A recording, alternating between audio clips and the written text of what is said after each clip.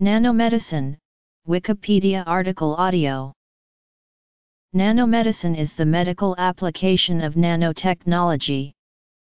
Nanomedicine ranges from the medical applications of nanomaterials and biological devices, to nanoelectronic biosensors, and even possible future applications of molecular nanotechnology such as biological machines.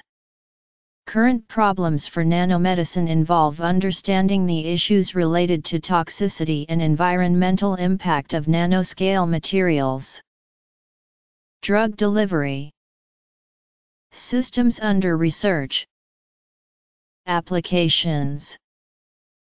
Cancer. Imaging. Sensing. Blood purification. Tissue engineering Medical devices Functionalities can be added to nanomaterials by interfacing them with biological molecules or structures. The size of nanomaterials is similar to that of most biological molecules and structures, therefore, nanomaterials can be useful for both in vivo and in vitro biomedical research and applications. Thus far, the integration of nanomaterials with biology has led to the development of diagnostic devices, contrast agents, analytical tools, physical therapy applications, and drug delivery vehicles. Nanomedicine seeks to deliver a valuable set of research tools and clinically useful devices in the near future. The National Nanotechnology Initiative expects new commercial applications in the pharmaceutical industry that may include advanced drug delivery systems, new therapies, and in vivo imaging. Nanomedicine research is receiving funding from the U.S. National Institutes of Health Common Fund Program, supporting four nanomedicine development centers. Nanomedicine sales reached $16 billion in 2015, with a minimum of $3.8 billion in nanotechnology R&D being invested every year. Global funding for emerging nanotechnology increased by 45% per year in recent years, with product sales exceeding $1 trillion in 2013. As the nanomedicine industry continues to grow, it is expected to have a significant impact on the economy. Nanotechnology has provided the possibility of delivering drugs to specific cells using nanoparticles. The overall drug consumption and side effects may be lowered significantly by depositing the active agent in the morbid region only and in no higher dose than needed. Targeted drug delivery is intended to reduce the side effects of drugs with concomitant decreases in consumption and treatment expenses. Drug delivery focuses on maximizing bioavailability both at specific places in the body and over a period of time. This can potentially be achieved by molecular targeting by nanoengineered devices. A benefit of using nanoscale for medical technologies is that smaller devices are less invasive and can possibly be implanted inside the body, plus biochemical reaction times are much shorter. These devices are faster and more sensitive than typical drug delivery. The efficacy of drug delivery through nanomedicine is largely based upon a. efficient encapsulation of the drugs, b. successful delivery of drug to the targeted region of the body, and c. successful release of the drug. Drug delivery systems, lipid or polymer-based nanoparticles, can be designed to improve the pharmacokinetics and biodistribution of the drug. However, the pharmacokinetics and pharmacodynamics of nanomedicine is highly variable among different patients. When designed to avoid the body's defense mechanisms, nanoparticles have beneficial properties that can be used to improve drug delivery. Complex drug delivery mechanisms are being developed, including the ability to get drugs through cell membranes and into cell cytoplasm. Triggered response is one way for drug molecules to be used more efficiently. Drugs are placed in the body and only activate on encountering a particular signal. For example, a drug with poor solubility will be replaced by a drug delivery system where both hydrophilic and hydrophobic environments exist, improving the solubility. Drug delivery systems may also be able to prevent tissue damage through regulated drug release, reduce drug clearance rates, or lower the volume of distribution and reduce the effect on non-target tissue. However, the biodistribution of these nanoparticles is still imperfect due to the complex host's reactions to nano and microsized materials and the difficulty in targeting specific organs in the body. Nevertheless, a lot of work is still ongoing to optimize and better understand the potential and limitations of nanoparticulate systems. While advancement of research proves that targeting and distribution can be augmented by nanoparticles, the dangers of nanotoxicity become an important next step in further understanding of their medical uses. Nanoparticles are under research for their potential to decrease antibiotic resistance or for various antimicrobial uses. Nanoparticles might also used to circumvent multi-drug resistance mechanisms. Two forms of nanomedicine that have already been tested in mice and are awaiting human testing will use gold nanoshells to help diagnose and treat cancer, along with liposomes as vaccine adjuvants and drug transport vehicles. Similarly, drug detoxification is also another application for nanomedicine which has shown promising results in rats. Advances in lipid nanotechnology was also instrumental in engineering medical nanodevices and novel drug delivery systems as well as in developing sensing applications. Another example can be found in dendrimers and nanoporous materials. Another example is to use block copolymers, which form micelles for drug encapsulation. Polymeric nanoparticles are a competing technology to lipidic nanoparticles. There is an additional risk of toxicity associated with polymers not widely studied or understood.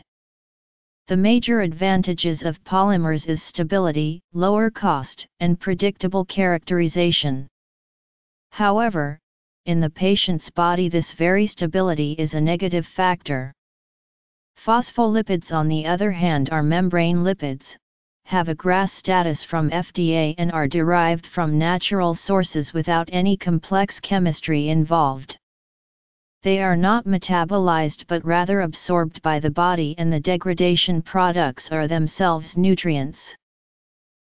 Protein and peptides exert multiple biological actions in the human body and they have been identified as showing great promise for treatment of various diseases and disorders.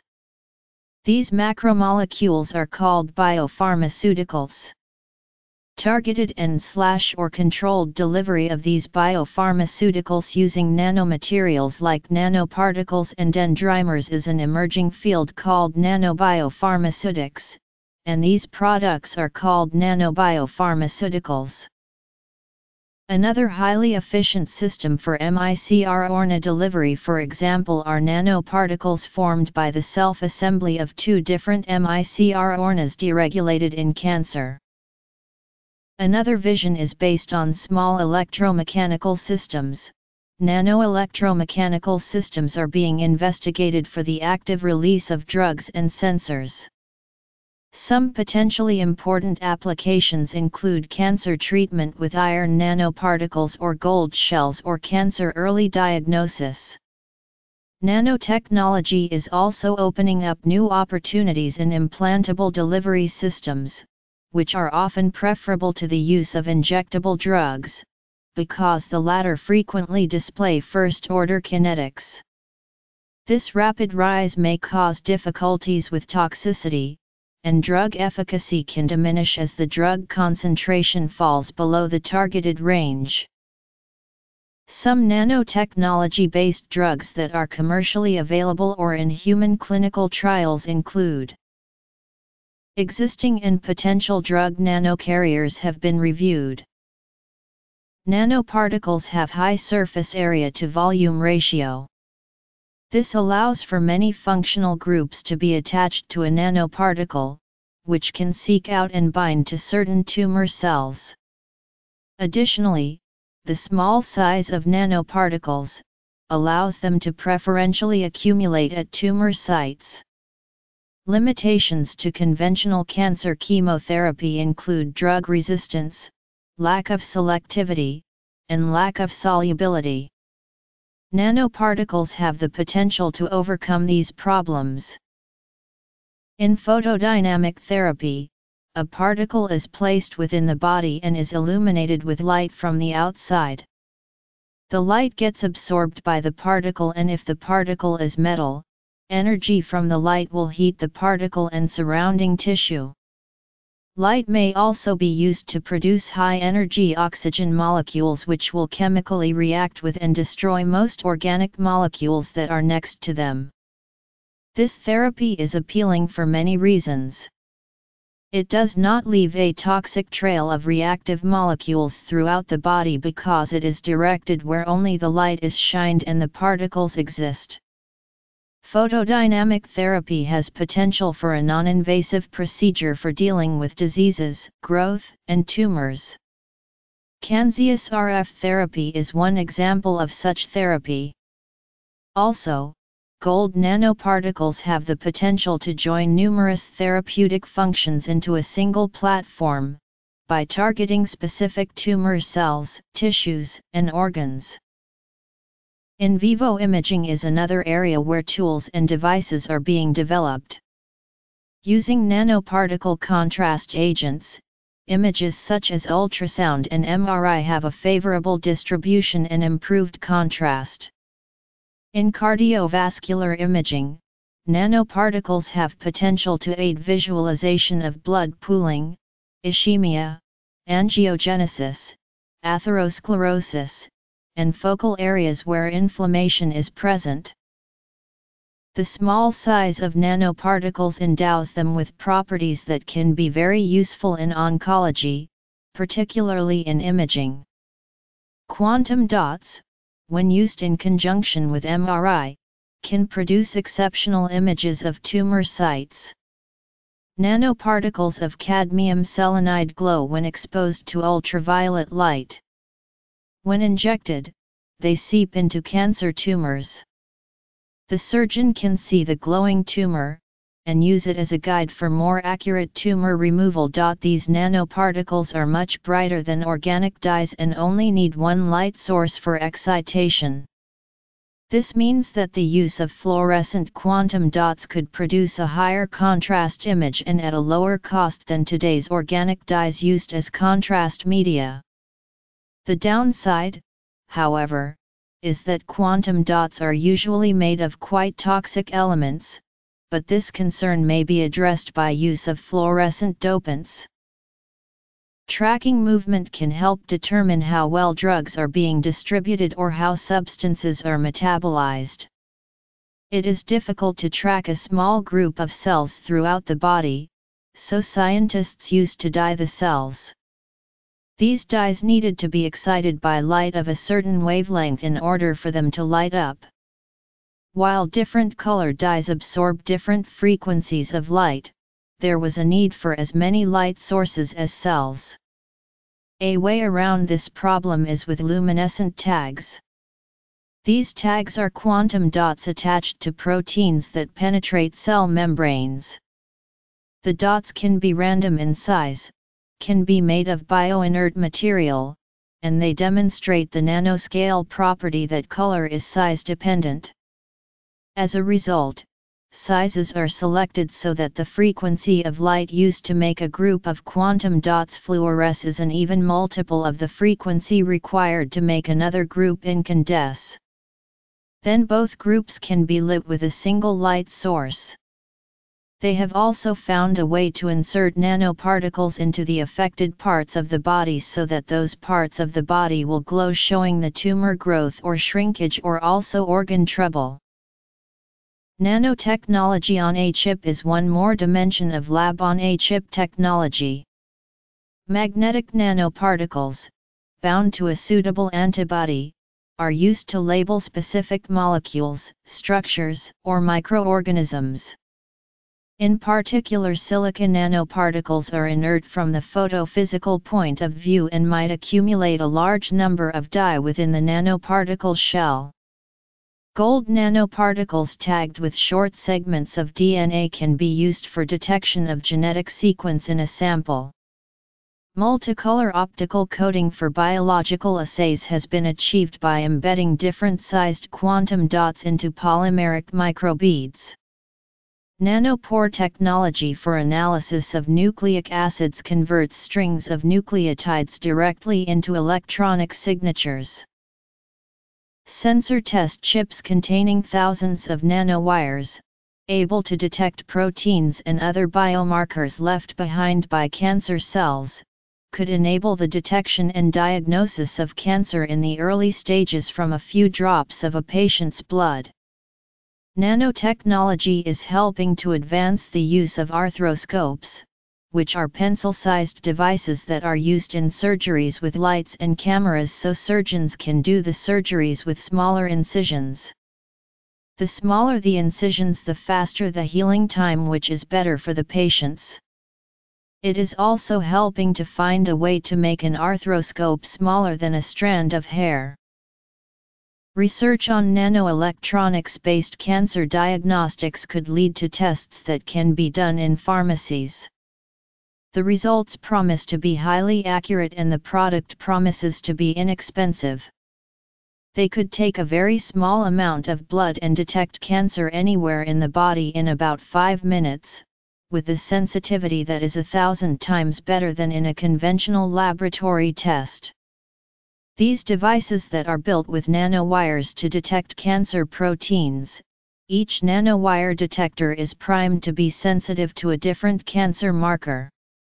The biggest advantage of the nanowire detectors is that they could test for anywhere from 10 to 100 similar medical conditions without adding cost to the testing device. Nanotechnology has also helped to personalize oncology for the detection, diagnosis, and treatment of cancer. It is now able to be tailored to each individual's tumor for better performance. They have found ways that they will be able to target a specific part of the body that is being affected by cancer. Magnetic microparticles are proven research instruments for the separation of cells and proteins from complex media. The technology is available under the name magnetic activated cell sorting or Dynabeads among others. More recently it was shown in animal models that magnetic nanoparticles can be used for the removal of various noxious compounds including toxins, pathogens, and proteins from whole blood in an extracorporeal circuit similar to dialysis. In contrast to dialysis, which works on the principle of the size-related diffusion of solutes and ultrafiltration of fluid across a semi-permeable membrane, the purification with nanoparticles allows specific targeting of substances. Additionally larger compounds which are commonly not dialyzable can be removed. The purification process is based on functionalized iron oxide or carbon-coated metal nanoparticles with ferromagnetic or superparamagnetic properties. Binding agents such as proteins, antibodies, antibiotics, or synthetic ligands are covalently linked to the particle surface. These binding agents are able to interact with target species forming an agglomerate. Applying an external magnetic field gradient allows exerting a force on the nanoparticles. Hence the particles can be separated from the bulk fluid, thereby cleaning it from the contaminants. The small size and large surface area of functionalized nanomagnets leads to advantageous properties compared to hemoperfusion, which is a clinically used technique for the purification of blood and is based on surface adsorption. These advantages are high loading and accessibility of the binding agents, high selectivity towards the target compound, fast diffusion, small hydrodynamic resistance, and low dosage. This approach offers new therapeutic possibilities for the treatment of systemic infections such as sepsis by directly removing the pathogen. It can also be used to selectively remove cytokines or endotoxins or for the dialysis of compounds which are not accessible by traditional dialysis methods. However the technology is still in a preclinical phase and first clinical trials are not expected before 2017. Nanotechnology may be used as part of tissue engineering to help reproduce or repair or reshape damaged tissue using suitable nanomaterial-based scaffolds and growth factors. Tissue engineering if successful may replace conventional treatments like organ transplants or artificial implants. Nanoparticles such as graphene, carbon nanotubes, molybdenum disulfide, and tungsten disulfide are being used as reinforcing agents to fabricate mechanically strong biodegradable polymeric nanocomposites for bone tissue engineering applications. The addition of these nanoparticles in the polymer matrix at low concentrations leads to significant improvements in the compressive and flexural mechanical properties of polymeric nanocomposites. Potentially, these nanocomposites may be used as a novel, mechanically strong, lightweight composite as bone implants. For example, a flesh welder was demonstrated to fuse two pieces of chicken meat into a single piece using a suspension of gold-coated nanoshells activated by an infrared laser. This could be used to weld arteries during surgery. Another example is nanonephrology, the use of nanomedicine on the kidney. Neuroelectronic interfacing is a visionary goal dealing with the construction of nanodevices that will permit computers to be joined and linked to the nervous system. This idea requires the building of a molecular structure that will permit control and detection of nerve impulses by an external computer. A refuelable strategy implies energy is refilled continuously or periodically with external sonic, chemical, tethered, magnetic, or biological electrical sources, while a non-refuelable strategy implies that all power is drawn from internal energy storage which would stop when all energy is drained. A nanoscale enzymatic biofuel cell for self-powered nanodevices have been developed that uses glucose from biofluids including human blood and watermelons. One limitation to this innovation is the fact that electrical interference or leakage or overheating from power consumption is possible. The wiring of the structure is extremely difficult because they must be positioned precisely in the nervous system. The structures that will provide the interface must also be compatible with the body's immune system. Molecular nanotechnology is a speculative subfield of nanotechnology regarding the possibility of engineering molecular assemblers, machines which could reorder matter at a molecular or atomic scale. Nanomedicine would make use of these nanorobots, introduced into the body, to repair or detect damages and infections. Molecular nanotechnology is highly theoretical, seeking to anticipate what inventions nanotechnology might yield and to propose an agenda for future inquiry. The proposed elements of molecular nanotechnology, such as molecular assemblers and nanorobots are far beyond current capabilities. Future advances in nanomedicine could give rise to life extension through the repair of many processes thought to be responsible for aging.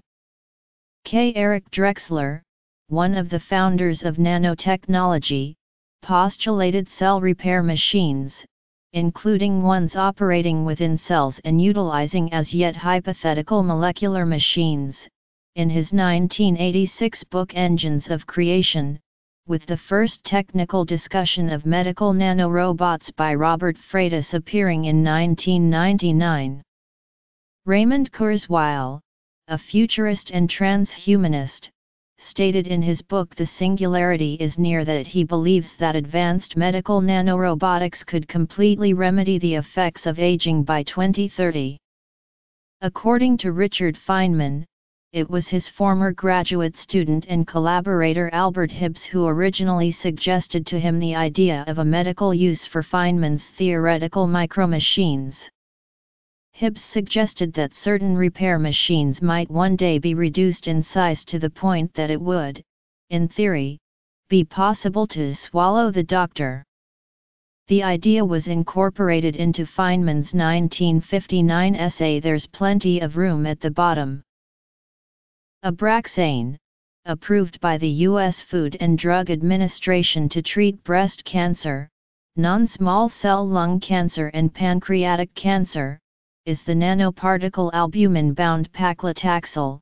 Doxil was originally approved by the FDA for the use on HIV-related Kaposi's sarcoma. It is now being used to also treat ovarian cancer and multiple myeloma. The drug is encased in liposomes, which helps to extend the life of the drug that is being distributed.